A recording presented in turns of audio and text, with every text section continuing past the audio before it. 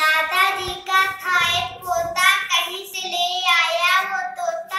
हरदम करता, टेंटे टे हल्दी मिर्च खुश होके खाता, पिंजरे में ही दौड़ लगाता, जब भी कोई घर को आता, मीठे मीठे गीत सुनाता।